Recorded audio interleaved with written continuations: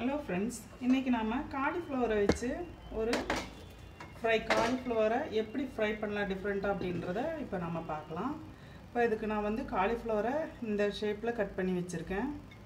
பாருங்கள் இந்த மாதிரி கட் பண்ணியிருக்கேன். இப்போ இந்த காலிஃப்ளவரை எப்படி கட் பண்ணலாம் அப்படின்றத உங்களுக்கு நான் காட்டுறேன் பாருங்கள்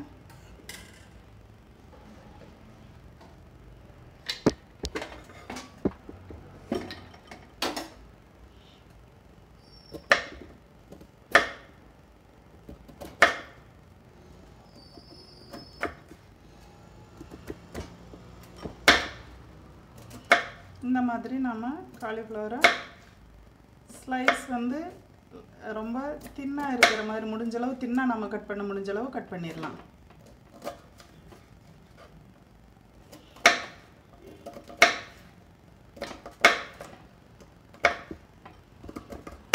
அது வந்து சீக்கிரம் கிறிஸ்பாக வெந்துடும் அதுக்காக நாம் அந்த மாதிரி தின்னாக கட் பண்ணுறோம் பாருங்கள்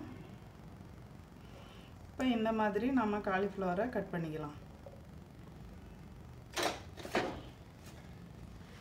காலிஃப்ளவர் வந்து நான் இந்த பவுலில் ஒரு ஹாஃப் பவுல் எடுத்திருக்கேன்.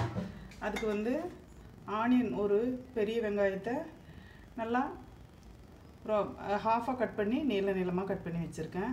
இது ஒரு ஹாஃப் கப் எடுத்துரு ஒரு கப் இந்த சின்ன கப்பில் ஒரு கப் எடுத்திருக்கேன். இஞ்சி ஜிஞ்சர் கொஞ்சம் எடுத்துக்கலாம். நைஸாக சாப் பண்ணது. பச்சை மிளகா ஒரு பச்சை மிளகா நல்லா நைஸாக சாப் பண்ணியிருக்கேன் இதில் வந்து கருவேப்பிலை கொத்தமல்லி புதினா இருக்குது அதையும் நான் ஆட் பண்ணிக்கிறேன். பூண்டு வந்து ஒரு ரெண்டு பூண்டு சேர்த்துட்டா போதும். பூண்டை நிறைய நீள நீளமாக நான் கட் பண்ணியிருக்கேன். இது கூட காரத்துக்கு வந்து பச்சை மிளகாய் மாத்திரம்தான் இருக்குது அதனால் சில்லி ஃப்ளேக்ஸ் கொஞ்சம் நான் யூஸ் பண்ணிக்கிறேன்.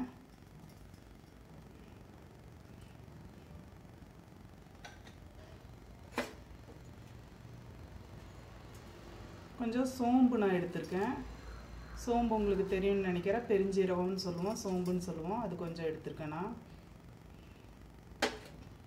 முந்திரி கொஞ்சம் எடுத்திருக்கேன். கேஷ்யூ கொஞ்சம் எடுத்திருக்கேன்.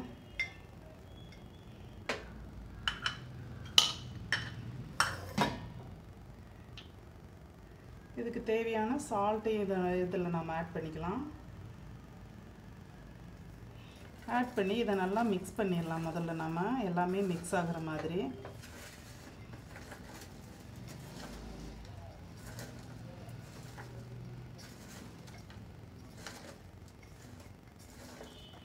இது வந்து ஜிஞ்சர் கார்லிக் பேஸ்ட்டும் நீங்கள் யூஸ் பண்ணுறதா இருந்தால் பண்ணிக்கலாம். இது நல்லாயிருக்கும் கொஞ்சம் பூண்டு இஞ்சியெல்லாம் நமக்கு அந்த டேஸ்ட் நமக்கு வாயில் கிடைக்கும். அது நல்லாயிருக்கும் வித்தியாசமாக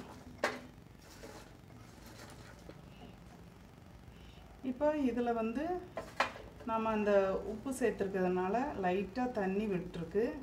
காயில் வந்து காய் வெங்காயம் எல்லாத்துலேயுமே வந்து நமக்கு அந்த ஒரு மாதிரி பாருங்கள் ஈரமாக இருக்குது இப்போ இந்த ஸ்டேஜில் வந்து நாம் என்ன பண்ணலான்னா இது வந்து ரைஸ் ஃப்ளார். ரைஸ் ஃப்ளார் கொஞ்சம் நான் ஆட் பண்ணிக்கிறேன்.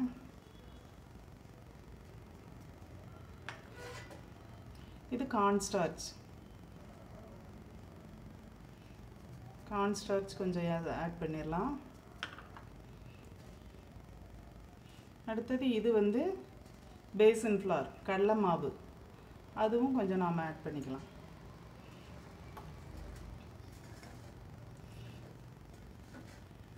இப்போ இதில் லைட்டாக கோட் ஆனால் போதும். ரொம்ப அது வந்து மாவு நாம் இதில் சேர்க்க போகிறதில்ல டோ அது வந்து காய் மேலேயும் இந்த வெங்காயம் ஆனியன் எல்லாம் போட்டிருக்கோம் இல்லைங்களா? அதில் கோட் ஆனால் போதும். மாவு ரொம்ப சேர்க்க வேண்டியதில்லை.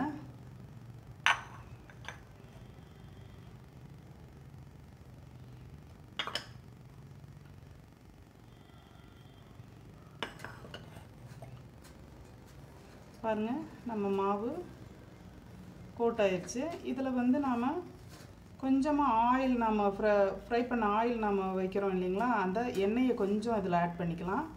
அது வந்து நமக்கு இந்த இதுக்கு வந்து காலிஃப்ளவர் ஃப்ரைக்கு வந்து கொஞ்சம் கிறிஸ்மஸ் கிறிஸ்மஸ் கொடுக்கும். அதுக்காக நாம் அப்போ அதை ஆட் பண்ணிக்கலாம். நாம் ஆயில் இப்போ பேனில் வச்சிடலாம்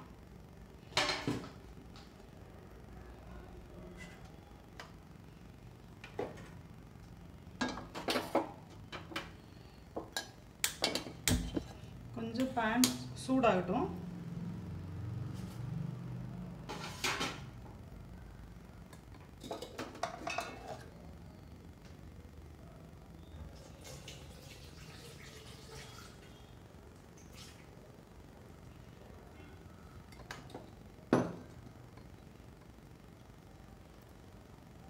பேனில் தண்ணியெல்லாம் இல்லாமல் பார்த்துக்கலாம் இப்போ ஆயில் இதில் நாம் சேர்த்துக்கலாம். கொஞ்சமாக இந்த காலிஃப்ளவருக்கு நாம் ஊற்ற கொஞ்சமாக ஆயில் வந்து சூடுபடுத்தி இந்த காலிஃப்ளவரில் நான் மிக்ஸ் பண்ணி வச்சுருக்கோம் இல்லைங்களா? இதில் கொஞ்சம் ஆட் பண்ணிடலாம்.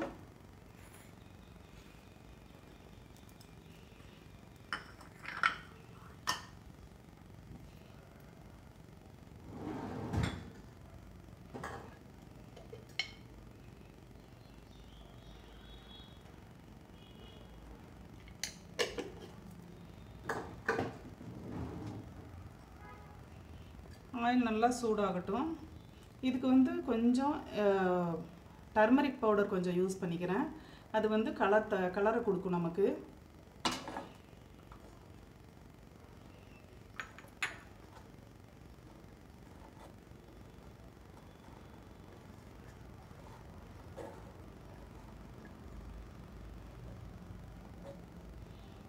இப்போ இந்த சூடான எண்ணெயை வந்து இந்த காயில் ஆட் பண்ணிடலாம். பாருங்கள் இதில் நான் ஆட் பண்ணிட்டேன் ஆயிலை இது இப்படியே வச்சிடலாம். நாம் பொரிக்கும் போது லைட்டாக தண்ணி அதில் மிக்ஸ் பண்ணிக்கலாம். இப்போ பொரிக்க தேவையான எண்ணெய் இதில் ஊற்றிடலாம் நம்ம ஃப்ரை பண்ண தேவையான ஆயில் அதில் விட்டுடலாம்.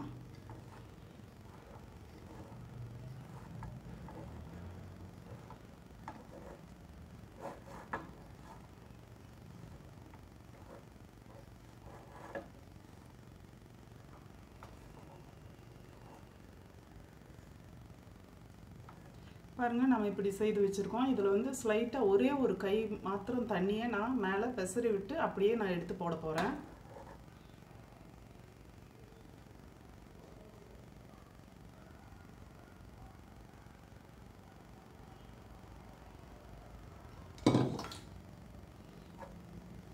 பாருங்கள் இந்தளவு தண்ணி போதும். இதுவே கூட நம்ம ரெண்டு முறை தேவையான பார்த்து நம்ம மிக்ஸ் பண்ணிக்கலாம்.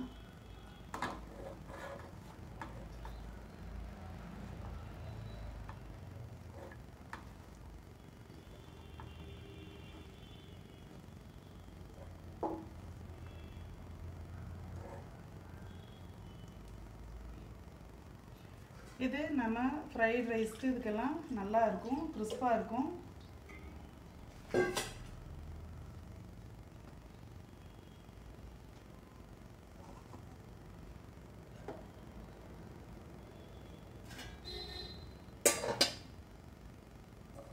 ஆயில் நல்லா சூடாகட்டும்.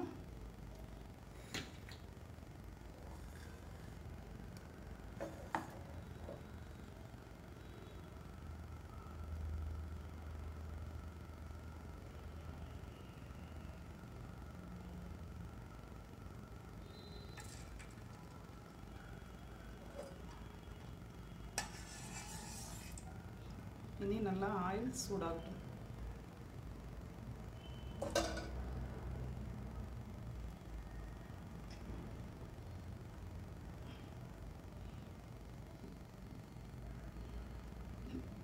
இது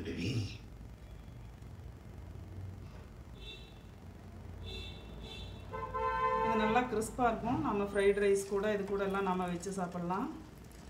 ஈவினிங் ஸ்நாக்ஸாக கூட நம்ம இதை எடுத்துக்கலாம். இப்போ ஆயில் சூடாயிடுச்சு நாம் இதை நல்லா தனித்தனியாக உடுத்து விட்டுடலாம்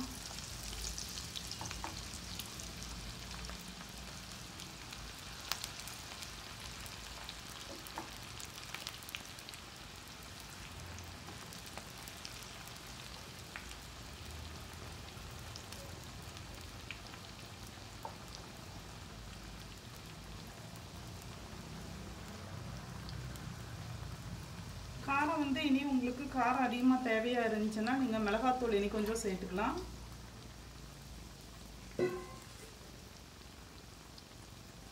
இது நல்லா வெந்த பிறகு அந்த சவுண்டெல்லாம் அந்த பபுள்ஸ் எல்லாம் நின்ன பிறகு நாம் இதை திருப்பி விடலாம். இல்லாட்டா அது மேலே இருக்க அந்த ஸ்டார்ச் அந்த பேசன் ஃப்ளார் எல்லாம் நம்ம அப்ளை பண்ணியிருக்கோம் இல்லைங்களா அது வந்து பிரிஞ்சிரும். அதனால் கொஞ்சம் காய் நல்லா வெந்த பிறகு இதை நம்ம திருப்பி விட்டுடலாம்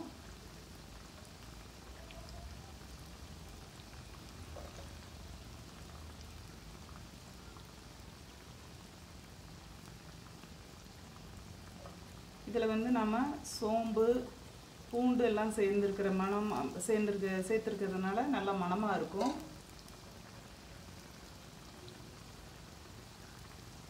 இதை நம்ம ஃப்ரை பண்ண நாம் பேனில் போடும்போது மாத்திரம் ஆயிலில் நாம் இதை போடும்போது மாத்திரம் நாம் தண்ணி ஆட் பண்ணி அதுக்கப்புறம் நாம் எடுத்து போட்டால் போதும். முதல்லயே நம்ம மிக்ஸ் பண்ணி வைக்க வேண்டியதில்லை. எல்லாம் ட்ரையாக நாம் வச்சுட்டு அதுக்கப்புறம் நாம் ஃப்ரை பண்ணும்போது மாத்திரம் வாட்டர் ஆட் பண்ணிக்கலாம்.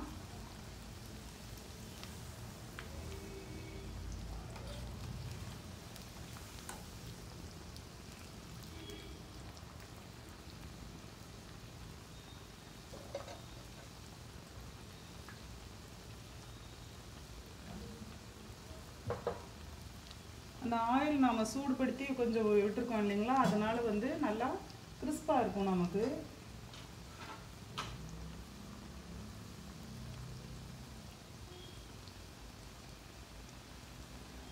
காய் வந்து நிறைய போட்டிருக்கிறதுனால வேக கொஞ்சம் லேட் ஆகுது. வெயிட் பண்ணலாம் நம்ம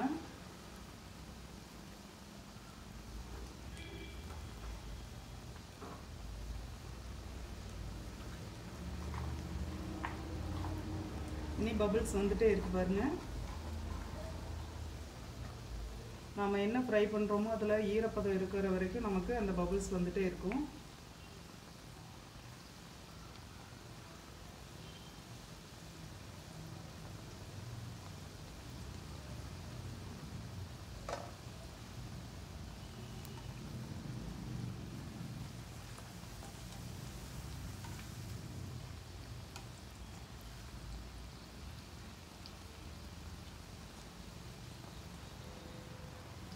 நாம் கோபி மஞ்சூரியன் கோபி சி சில்லி எல்லாம் செய்திருக்கோம் இதுக்கு ஒரு மாதிரி இது வந்து அந்த டைப்பில் ட்ரை ட்ரையாக தான் இருக்கும். ஆனால் கொஞ்சம் வித்தியாசமாக இருக்கும்.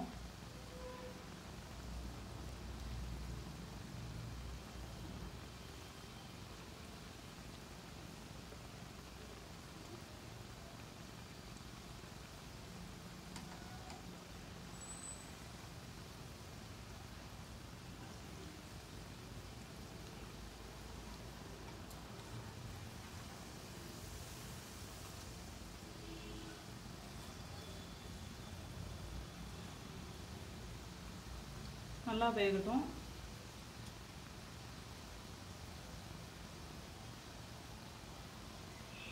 நாம் இதில் தண்ணி அதிகம் சேர்க்கல ஆனாலும் இதில் அந்தளவு நாம் சால்ட் முன்னமே சேர்த்ததுனால அந்த காய்கறியில் வெங்காயத்துலலாம் இருக்கக்கூடிய ஈரப்பதம் வந்து இந்தளவு ரிலீஸ் ஆகிருக்கு அதனால் இதில் வந்து ஈரமாக இந்தளவு வெந்துகிட்டே இருக்குது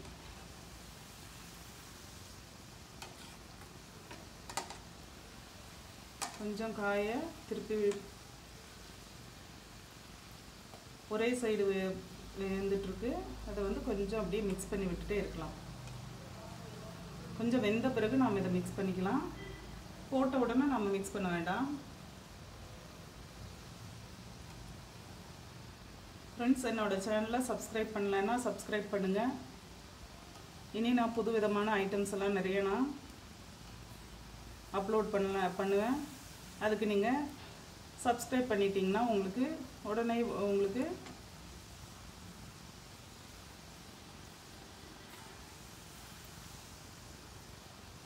நோட்டிஃபிகேஷன் உங்களுக்கு வரும். பாருங்க. கலர் சேஞ்ச் ஆகிருக்கு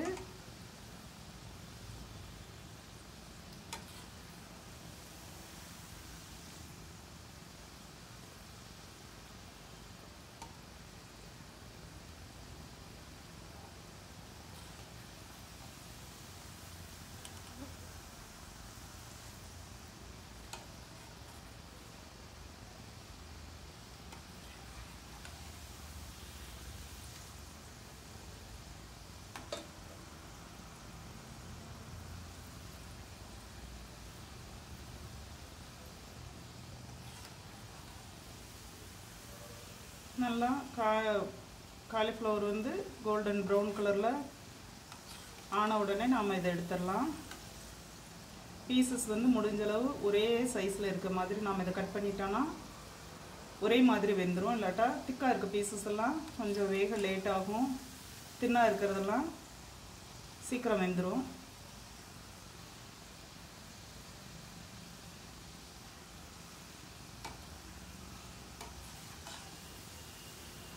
பாருங்கள் ஃப்ரெண்ட்ஸ் நம்ம காலிஃப்ளவர் சில்லி ரெடி ஆயிடுச்சு இப்போ நம்ம இதை எடுத்துடலாம்.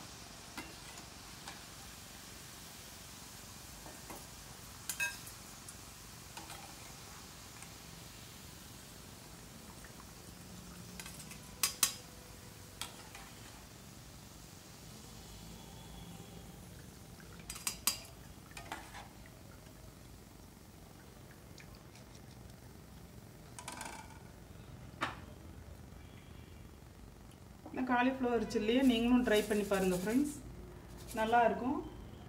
இதை ட்ரை பண்ணி பார்த்துட்டு எப்படி இருக்குன்றது எனக்கு கமெண்ட்ஸ் சொல்லுங்கள் பிடிச்சிருந்தா லைக் பண்ணுங்கள் ஷேர் பண்ணுங்கள் என்னோட சேனலை சப்ஸ்கிரைப் பண்ணுங்கள் கீழே இருக்க பெல் பட்டனை கிளிக் பண்ணுங்கள் ஃப்ரெண்ட்ஸ் தேங்க்யூ